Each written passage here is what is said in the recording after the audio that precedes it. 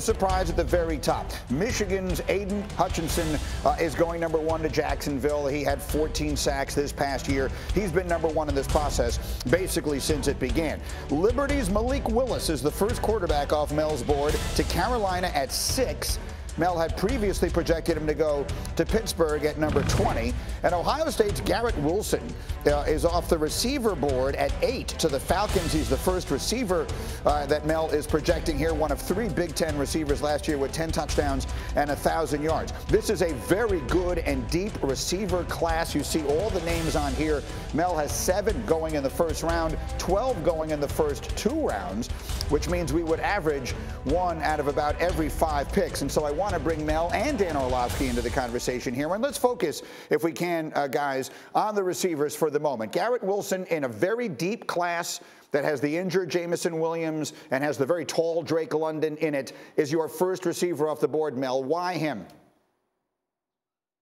Clean us through the process, Greeny. You think about the season, the career, and then the ability to go out and show that you are an elite speed guy at the combine. And then obviously come in with Drake London coming off the fractured ankle, not running for the clock. Jameson Williams with the ACL national championship game. It's set up for Garrett Wilson to take advantage of that, which he did at the combine, running sub 4 4, and now he's the number one guy. Atlanta needs receiver help. Uh, they would obviously love to see him still on the board at that particular point. I will say this these receivers aren't to the level of last year's group, but it's a deep and talented group, and I think you're going to see a ton of these receivers go in the first three or four rounds, not just in the first two.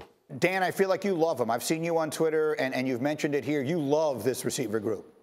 Absolutely, and I think Garrett Wilson is going to be very similar to a Davante Adams. I've said his style, just play-wise, is like Julio Jones, uh, but probably body makeup-wise reminds people of a Davante Adams. The way that he wins in short spaces is remarkable. I don't think that if you give him freedom and route running, there's going to be many opportunities for him or many challenges for him to win in the NFL in one-on-one coverage unless he's seeing those elite corners. He's phenomenal in short space quickness. His ball control, his body control is remarkable. But the whole group, Greeny, I think the two kids from Ohio State are going to be awesome. Garrett Wilson and Chris Olave.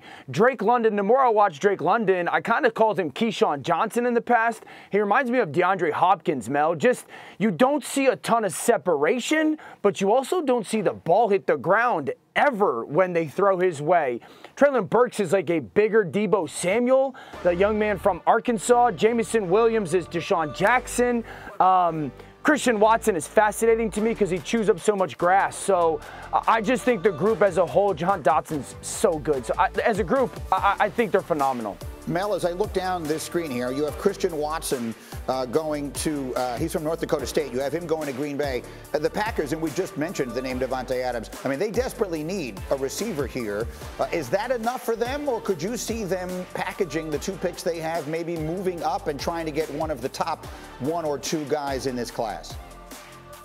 They could, Greeny, they haven't taken a receiver for Aaron Rodgers yet. Watson, maybe it was a uniform, North Dakota State, the Bison, what he did. I scouted his father when he came out of Howard back in 1993, sixth round pick of the Packers. Christian Watson has the length, the athleticism, the running skills after the catch, even on reverses. Uh, he will be a dynamic player. And I gave him Alec Pierce from Cincinnati in round two, who mm. his comp mm. is Jordy Nelson. So if you can get Alec Pierce with his size and length, he ran great. He tested off the charts athletically, and get a guy like Christian Watson. Now you got the big athletic targets to really help out Aaron Rodgers.